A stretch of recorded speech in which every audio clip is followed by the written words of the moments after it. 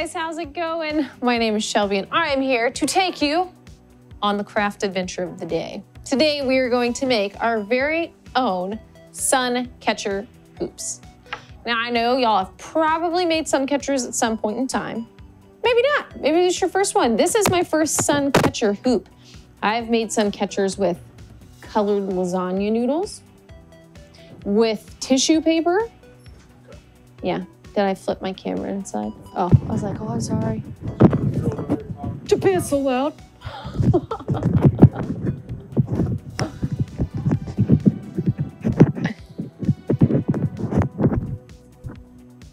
uh,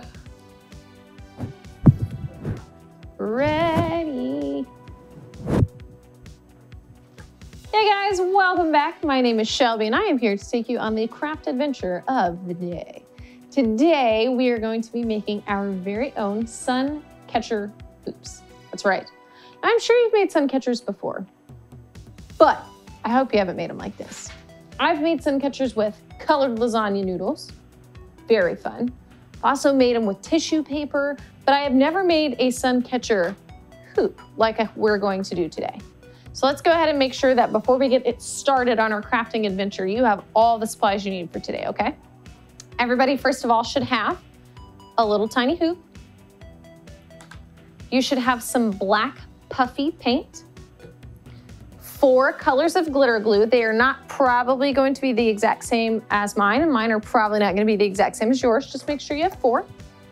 You should have a pencil, a small suction cup with a little hook on it, a pair of scissors. You might have already used scissors in one of the crafts this week. So if you have, just go get your pair of scissors, or if it's included in the bag, awesome sauce.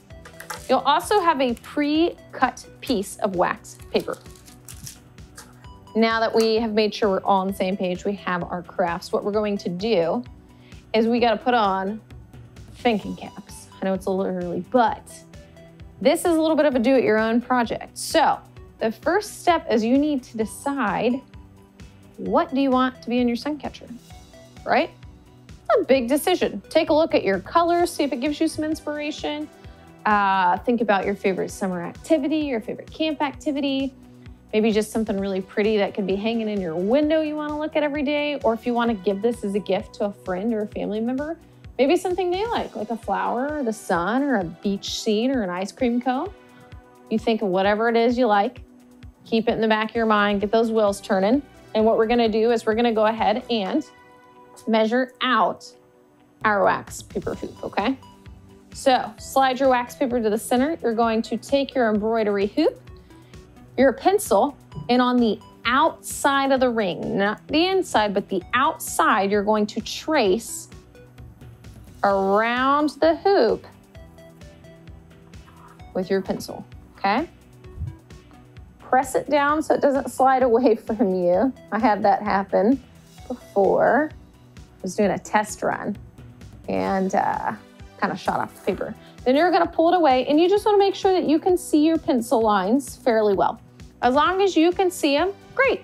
You might not be able to see mine and that's okay. I can see where mine are at. I'll try and darken them for you. Just make sure you can see yours because this is gonna be our guide as to how big and small we need to draw our picture and to make sure that we put it in the right area, all right? Because if we spend so much time making our photo look absolutely phenomenal and it doesn't fit, it's gonna be a huge bummer, right? Yeah, not fun. So we have traced our circle onto the wax paper and hopefully we've got a couple ideas of what it is we wanna draw. Move your hoop to the side so it's not in the way. I think I'm actually torn. So I really, really love ice cream regardless. But I really like ice cream, so I'm debating doing a little bit of an ice cream scene. Or maybe I might do maybe like a flower. Any suggestions? What you think I should do? I have blue, pink, gold, and orange. Hmm. You could also just do a design. I'm gonna throw that out there. You can also do a design. This does not have to be a picture. Um, so, you know what? I think I am gonna just start drawing and whatever comes out, comes out. Sound good? So go ahead and take your pencil. Once you have thought up your design, you're gonna draw inside of your circle only. If it goes outside your circle, it's not gonna show up in your sun catcher hoop. So keep it in your circle and keep drawing along. Feel free to tell your buddies, or you can yell at me and maybe I telepathically can understand what you're drawing. I'm gonna say, feeling hungry today, so I'm leaning towards ice cream. But, you know what? We got that pretty blue, kind of looks like it could be an ocean color. Some gold. You know what? Let's do, let's do the sun. So, I'm gonna start with a big circle in the center. Now, if your drawing doesn't come out perfectly the first time, that's okay. You can erase. The wax paper is pretty forgiving, but we're also going to cover it up in, in this glitter glue. So don't stress too much if it doesn't exactly turn out how you want the first time. Uh, we're gonna cover it. You probably won't be able to see it if you do make a mistake, so no stress. That's the best part of summer camp. Stress-free environment. We're here to have fun, hang out with our friends, enjoy, you know, all the different things that we don't always get to do during school because, you know, we have homework and we're learning. We get to enjoy all those fun things. So just try and enjoy yourself as you do it. I'm drawing all the rays on my sun at the moment, giving my sun lots of rays because I'm really feeling this gold and I want to use a lot of it. So if I draw a ton of sun rays, I can use more. oh yes, there might be snorting in this video. I forgot to give you heads up. All right, so I have a sun and a, okay, a little bit cliche, but what's cooler than a sun with a smiley face? Gonna give her some big blushy cheeks, a big old smile, and sunglasses, because it's just ironic. Maybe I have a bad sense of humor. Maybe it's not funny. I think it's really funny. I'm gonna give her some sunglasses because that will be awesome. Alrighty. So I'm not sure how well you can see. Do suns have noses real quick? Maybe. I'll come back to that. I'm debating if my sun needs a nose. So I'm gonna add some little shades into my sunglasses. Guys, how are y'all's photos turning out? Your little pictures. Did anybody do just a design, like a mandala or a cool swirly whirly kind of thing? Or anybody do a flower? Please tell me somebody did ice cream or a popsicle. I am sure they look great. I would love to see all of them in person because y'all are very, very creative, more creative than I am. And I would love to see how these turn out. So once you have finished your picture, what you're gonna do, push this just a little bit out of the way and you're going to take your hoop and you are going to untwist this little metal piece at the top. It might take a second to loosen it because it's kind of tight and you're gonna unscrew it. So you don't wanna make it tighter, you wanna make it looser. So see how my hoop's getting a little wiggly jiggly? That's what we want. And then once you have enough space, you can throw it on the table like that. You're gonna pull it apart. and you are going to take your paper, put it on top of your smallest ring, kind of kind of center your, your picture. So there's gonna be a little bit around the edge where my pencil goes over the wood, and that's okay. And I'm gonna put my sun in the center, and then I'm going to take this hoop. I'm very gently gonna make sure that I can slide it on top of my photo. So it sandwiches the wax paper in between. And then I'm going to twist it the other way and tighten it. So what I want to happen now is I want the hoop to hold the wax paper in place. So once it gets tight enough, you should be able to pick it up and kind of screw it on. That makes it a lot easier. So screw it on, screw it on, screw it on. Don't do it too tight. Once it gets kind of hard to turn, that should be good. If you do it too tight, it might splinter the wood because of the pressure. So just do it enough that it's holding. See? Ta-da! Now what you're gonna do is you're gonna take your scissors and you're just gonna cut off the excess paper. So, there's no right way to do this because it is cinched. You can cut really close to your hoop or you can cut further away if you wanna leave a little bit of extra, whatever you like. I honestly, fun fact, am not really good at cutting with scissors. It is not a strong suit of mine. It is something that I try and work on, but I'm just not really good at it. So I, uh, I'm leaving just a little bit of paper and trimming it back up, but I'm not gonna give myself too much of a hard time because it's camp. We're here to have a great time. So put your wax paper to the side once you're finished and your scissors, and you should have your hoop, ta-da, with your beautiful picture in the center. And most of the excess paper on the sides cut out. So now what you're gonna do is the fun part. You're going to set the black puffy paint to the side, pick up your four colors of glitter glue, and you're just gonna decide what colors you wanna make your picture. And you're gonna start filling it in. So just like you would with paint. So I'm going to do gold first. I think I'm going to do the sun rays gold. So go ahead and open your glitter glue. Be careful, you might have had a small explosion like mine did. and just go ahead and start painting. Just filling it in like you would. You can make it thick or you can squirt a blob and kind of thin it out. It's totally up to you. And you are just gonna start painting your picture. Use all the colors, use just one of the colors, two, three, whatever you like. And we're gonna go around and fill everything in.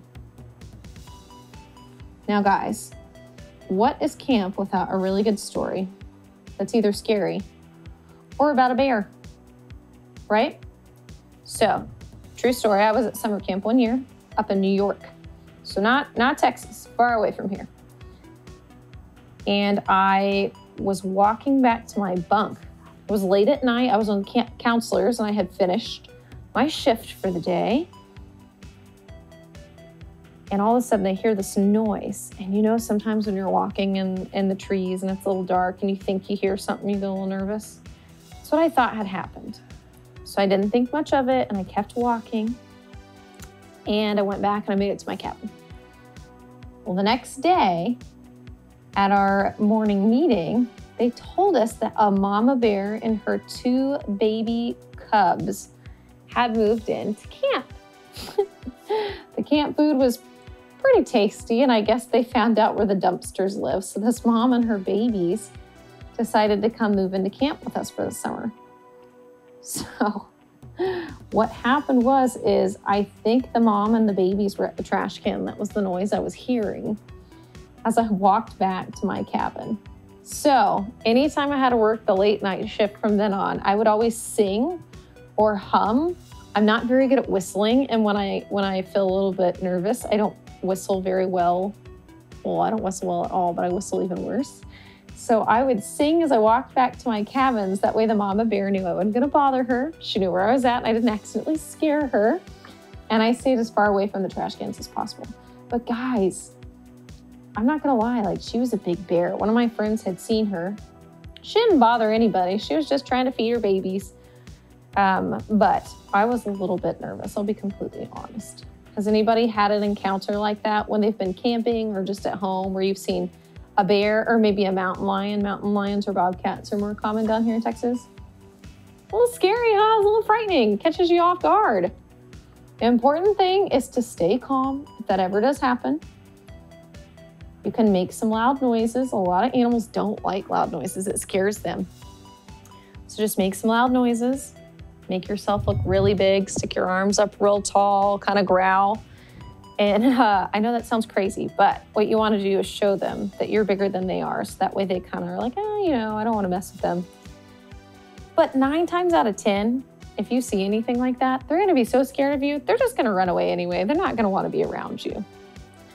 So if you do encounter any wildlife this summer, stop, be smart, Try and make some noises, see if it scares them away. If not, just make yourself look really, really big. Think of the biggest person you know and try and look like them. and I'm sure whatever it is that you see will go on its way. Unless it's a snake. Guys, snake stories. Snakes are different. I would say just run away. That's my own personal advice. I know not all snakes are mean, but snakes are not my jam. I'm very fearful of snakes we were camping one year and there was a diamondback rattlesnake, which was really cool. It was very cool. We were actually driving down the road and we saw something, so we slowed down. It was a it was a road that not a lot of cars actually drove on. It was in the campgrounds. And um, it was this diamondback rattlesnake and it was very angry. It kept hissing at the tires on our car. Was not thrilled we were there. So we left it alone, drove by, but it was neat. But curious, are any of you out there actually snake fans? Like you really enjoy snakes and you think they're really cool? Okay, you know, to each their own. I'm not, but you know what? We don't all like just vanilla ice cream we don't all just like chocolate chip cookies. So I'm glad that everybody has a little bit different taste. All right, guys, I got the rays on My Sun done in gold. Oh, and I pulled the lid off my glitter glue. That's pretty funny. Next, I think maybe, maybe I'll do its face. Ooh, in orange. Okay, so fun fact, sometimes the glitter glue shoots across the table. So just be warned. It's a little messy. so we've talked about some of our interesting animal encounters at camp. What about funny camp stories? Does anybody have any funny camp stories? Like maybe you went to a camp and your friend did something funny, or you dressed up like Sasquatch and scared them? Or do you maybe uh, have a funny story of something that happened to you at camp? So I had gone camping with my cousins, and we were up in the panhandle of Texas. Any panhandle people out there? Yeah. We had gone up there and we took my cousins with us, and one of my cousins does not camp. She does not like to really do outdoor things. To each your own, it's just not her thing. She doesn't enjoy it very much. Well, we were tent camping. And guys, do you know what she did? She got out of the tent to blow her nose. Mm-hmm. Does anybody know what a tent is made out of? That's right. It's kind of like a canvas tarp material. It's very, very thin. And she got out of it, and it's see through for the most part. If you put your eyes real close, like you can see through it. And you can hear everything that happens through it to get to blow her nose, which I thought was hilarious because I'm like, well, the tent's already kind of see through. Why would you do that? So, anyway, she gets out to be nice and blow her nose. You want to guess what happened? As soon as she got out to blow her nose, these coyotes started howling. And I mean loud, like super loud. And it just scared the ever living daylights out of her. And she got so scared, she went to run and jump into the tent, but her knees got stuck on the lip where the zipper goes, and she fell face first into the tent on her sleeping bag and shot across the entire tent. It was hysterical. She was okay. That's why I felt it was okay to laugh. But guys, it was hilarious. Absolutely hilarious. From that night on, she did not get out of the tent to blow her nose. And the coyotes went on their way and they didn't bother anybody, but I just thought it was absolutely funny. It was perfect timing. I don't think they could have had any better timing if they would have tried. Not at all. I hope this does not discourage any of you from going camping. Camping is very fun. So if you're afraid of animals, don't worry.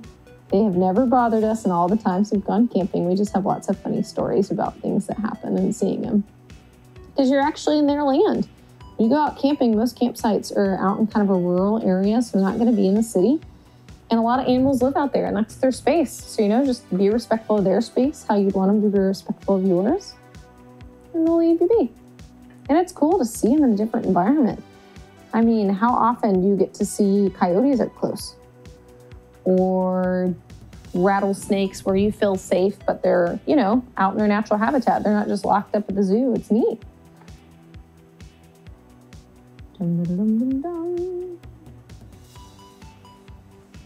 Guys, how are y'all's pictures coming along? They looking great?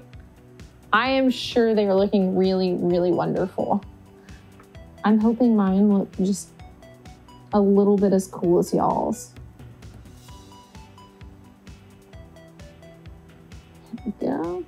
I will say, I do love me some glitter glue action. So I'm really enjoying this part. So other fun things at camp. You have funny stories, fun activities.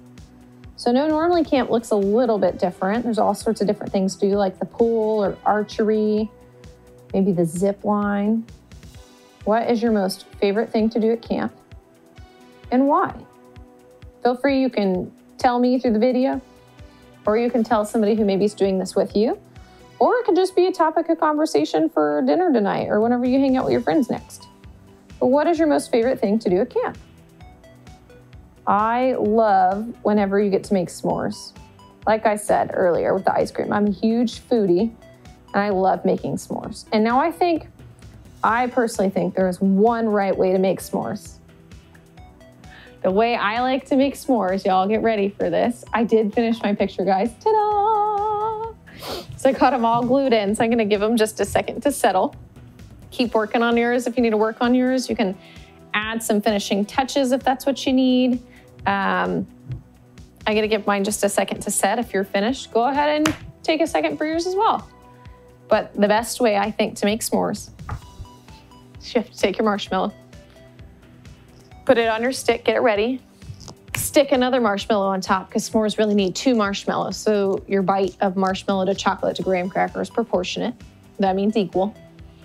You're gonna open your graham crackers over here and you need two pieces of Hershey on one graham cracker, two pieces of Hershey on another graham cracker, and then you're gonna take your marshmallows, wait for it, and then you're going to light them on fire in the campfire. That's right.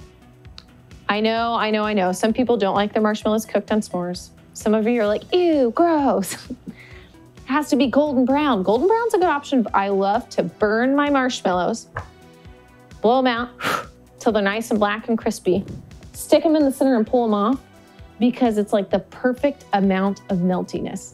And then when you eat your s'more, the heat from your once fiery marshmallow just melts the chocolate down and it's, I feel like I could eat an entire meal of s'mores.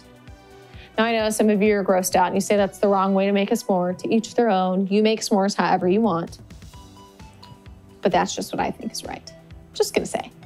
All right, guys, so we finished our pictures. If you're still working, no worries, take your time. We're gonna go ahead and if you finish, you're gonna take your black puffy paint, unscrew the lid. It's kind of a weird shaped lid, looks like a flower because it's called Tulip Brand.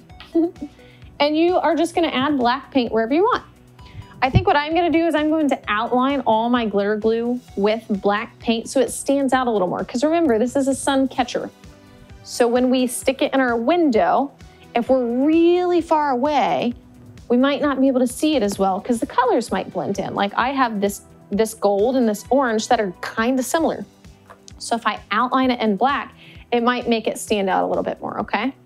Now, if you can, I would not pick up or tilt your glitter glue yet. It will run if you hold it upright for too long. Granted, glitter glue is really thick, so it'll take a while before it starts to slide, but go ahead and leave it flat on the table if you can.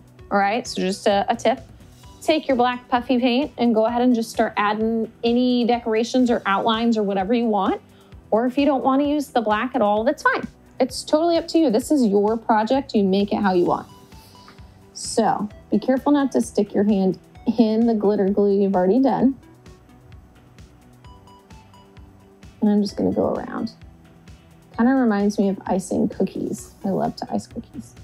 Oh, fun fact on s'mores, guys. If you ever want to spice up your s'more and do something different, if you have Reese's and you like Reese's cups and you're not allergic to peanut butter, you can take the Hershey's chocolate out and stick a Reese's in there instead. And then you have like a peanut butter chocolate s'more. And it is delicious. It's so good. So I encourage you, if you make any s'mores this summer, spice it up, switch it out, try something new. Send me your ideas of what I can try that's new too, please. I would love that. It's part of the fun of summer and camp and crafting is you can just take something and put a twist on it and make it your own. Alrighty. Going around. So I ended up doing the sun, I think, because if I did the ice cream, I was going to be too hungry. And then also, I love summer. Summer is probably my favorite season. And I love summer when it's not super crazy hot like it gets in Texas, like 120. But I love it when it's hot and sunny and you can just spend the day out by the pool with your friends or family or whoever you like to go to the pool with, or if you want to go to Six Flags. I love that. I think it is the absolute best. That's why I chose to do the sun in the end. Does anybody else love summer? Is that your favorite season? Yeah, that's okay. Some I know some people like spring, fall, winter.